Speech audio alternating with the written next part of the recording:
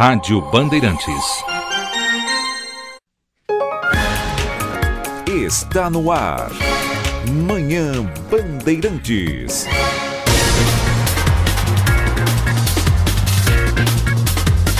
Dez horas cinco minutos. Muito bom dia a você. Está começando Manhã Bandeirantes desta quarta-feira, feriado da Consciência Negra, dia 20 de novembro de 2013. O trânsito tá uma beleza.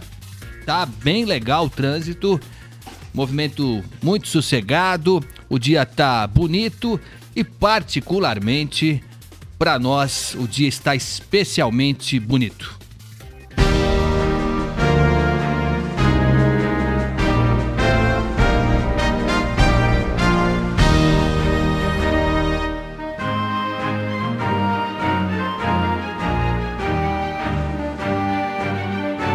Foi para para tirar qualquer um do seu estado normal. Foi um jogaço, foi dramático, mas foi mais legal assim. Foi muito mais legal assim. Até para quem estava acompanhando só como admirador do esporte, sem muito envolvimento, tenho certeza que acabou se envolvendo demais. E nessas horas, nessas horas o rádio retrata exatamente o que foi aquela partida de ontem entre Portugal e Suécia. E o rádio, narrado com o coração, tem um colorido todo especial. Ouça só. Grande círculo, cabeça, Nani, Moutinho, Ronaldo isolado, vamos, leva-nos Brasil, Ronaldo, leva-nos Brasil, Ronaldo, bate, gol, gol, gol, gol, gol, gol, gol, é gol, é!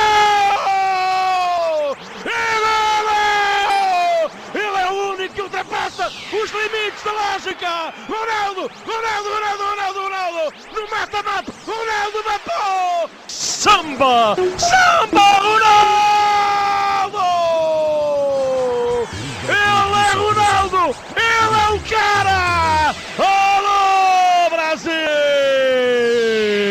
Última chamada com destino a um país maravilhoso! Ao país do futebol! Embarque imediato! Todos convidados! Os milhões de portugueses! Nos quatro cantos do mundo! E todos aqueles que acreditaram na nossa seleção! Ronaldo Golo! Suécia! Bom, agora, bom, esse aqui é o Nuno Matos, o relator, né? Lá é relator, não é narrador de futebol. Relator. não- É, o relator. No, no tempo do Arthur Agostinho não aconteceu. O Arthur Agostinho foi uma espécie de Fiore Gilhote lá É. no rádio português. Ele já é falecido.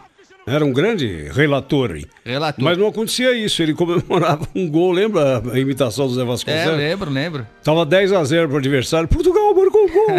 Mudou o tempo. Mudou, mudou. Não tinha Cristiano Ronaldo na época, né, Zé? Não, não, desde os anos 60 com o Otto Glória de É. treinador, foi a melhor participação de Portugal em Copas, né? Terceiro lugar na Inglaterra. É. Bom, e o Nuno Matos, o Nuno Matos é, está conosco agora. Nuno Matos, que é o relator da Antena 1. Nuno Matos, bom dia. Você está onde agora, Nuno? Nesta, bom dia, nesta altura estou em Frankfurt, estou de, de escala porque acabei de, de- de vir de Estocolmo eh, e vou fazer agora aqui escala, mas eh, vou já seguir para, para Lisboa, eh, aqui da, da Alemanha. Nuno, e você já se recuperou da emoção de ontem? Eu não me recuperei ainda, Nuno. Sim, sim, já estou- ainda, estou a recuperar das emoções.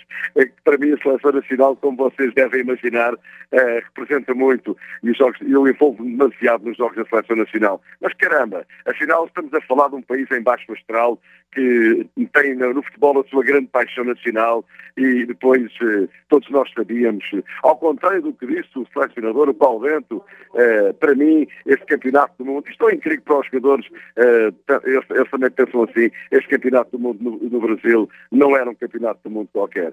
Portugal eh, tem estado nas fases finais das grandes competições desde o Euro 2000, desde a da Copa da Europa em 2000, claro que Portugal tinha que estar neste, neste Mundial tão especial para todos nós, não só porque todos falamos a mesma língua, não só porque tínhamos um apoio incondicional de um país maravilhoso, de um país que respira o futebol, como seja o Brasil. Por tudo isso, foi uma, uma grande envolvência neste play-off e depois o Cristiano Ronaldo fez o resto. Enfim, ele é mágico, ele é galáctico, ele é, ele é um monstro, ele foi colossal e, enfim, foi, foi uma série de emoções eh, que, que levaram realmente a esse momento supremo. Eh, e eu também me envolvi, eu também me envolvi. Eu tenho que, tenho que revelar e tenho que, tenho que dizer assim, enfim, caramba, mas Portugal estava ali no fio da navalha, esteve a ganhar um zero, deixou a Suécia passar para 2-1 e depois o Cristiano Ronaldo fez o resto. Estou-me estou a recuperar, mas mereceu a pena, valeu a pena. Está no Brasil, com certeza que também vai valer a pena. Vamos ouvir de novo então, Nuno Matos, o gol de Cristiano Ronaldo que carimbou o passaporte de Portugal para a Copa do Mundo aqui no Brasil. Ronaldo sozinho, vai passar, vai passar Isaac, marcou! Ah, golo, golo, golo, golo, golo, golo, golo! Oh, oh, oh, Ronaldo, é Ronaldo, é Ronaldo, Ronaldo, é Ronaldo, Ronaldo, é Brasil, é Brasil, é Brasil, é Brasil, golo! É golo! É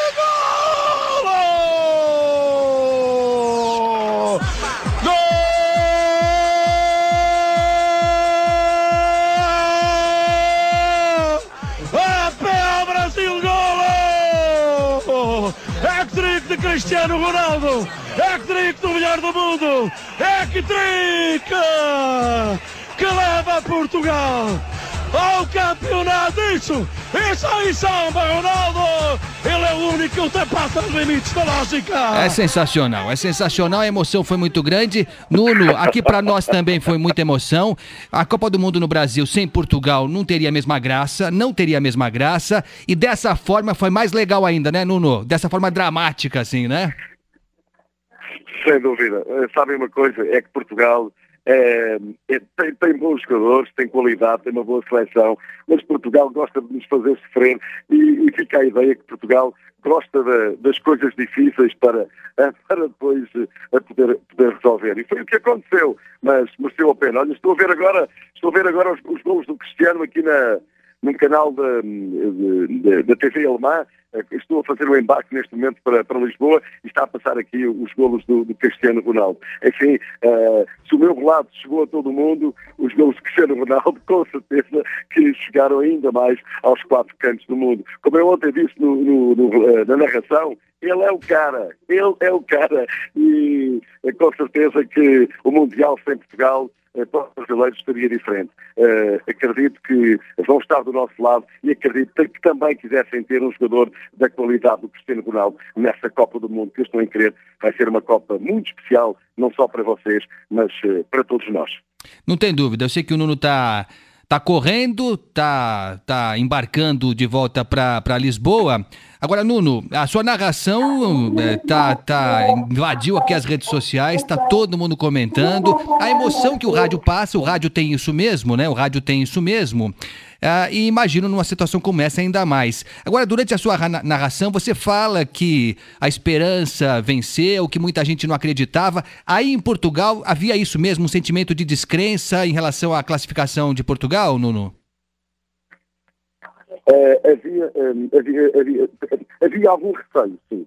Uh, parte de, dos portugueses acreditavam que a seleção uh, podia chegar à Copa do Mundo, mas havia, havia alguma apreensão, até porque Portugal tinha feito uma fase, uma, uma fase de qualificação de mapas altos e baixos. E, e, tinha perdido pontos na Rússia, tinha perdido pontos em Israel e tinha perdido pontos também no estádio do, do, do, do Dragão. Uh, e por isso havia muita apreensão, mas agora uh, tudo chegou, uh, tudo teve um final feliz. Eu peço desculpa, é que me estão a dizer que tenho mesmo que abarcar. Um grande abraço para todos na Bandeirantes. Obrigado, Nuno. Nuno Matos, o relator, o narrador da Antena 1, Antena 1 que é rádio da RTP, né, a rede pública de comunicação lá de Portugal. Nuno Matos, que gentilmente atendeu a Rádio Bandeirantes, está na viagem, né, de volta. Tá feliz da vida, tá feliz da vida, levando é, a,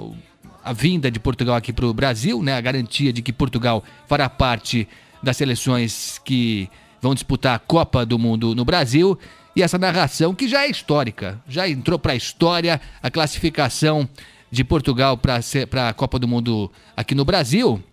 E ainda mais com um desempenho fantástico do que hoje acho que ninguém discute, é o melhor do mundo. O, o Messi está numa fase difícil, se recuperando fisicamente, e o Cristiano Ronaldo tá voando, tá voando, arrebentou, fez três gols.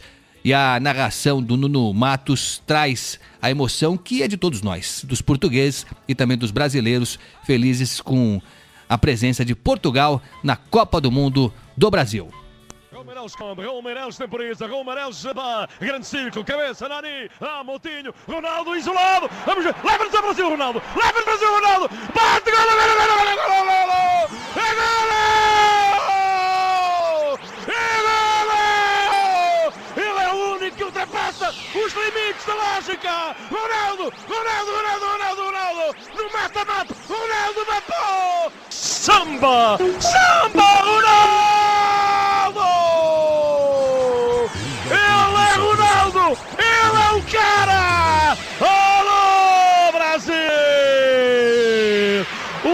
Chamada com destino ao país maravilhoso! Ao país do futebol! Embarque imediato! Estão todos convidados! Os milhões de portugueses! Nos quatro cantos do mundo! e todos aqueles que acreditaram na nossa seleção. É emocionante, é emocionante a colônia portuguesa vibrando, os brasileiros também felizes, felizes, né? A presença de Portugal era obrigatória, era obrigatória, é, se não por outro motivo, pela presença do Cristiano Ronaldo. E eu tô lendo aqui, o Zé Paulo me mostrou aqui a manchete do Correio da Manhã de hoje, Jornal de Portugal. Alô Brasil, aquele abraço. Então, é o clima, é o clima que tomou conta desde ontem é, de toda a nação, de Portugal como um todo. Aqui em São Paulo também tivemos comemoração. Na Casa de Portugal foi uma festa, foi uma festa, teve telão e teve tremoço. Olha, foi uma beleza a comemoração da colônia na Casa de Portugal. Que bom, que bom que Portugal vai estar aqui é, conosco nessa Copa do Mundo que será histórica, já é histórica.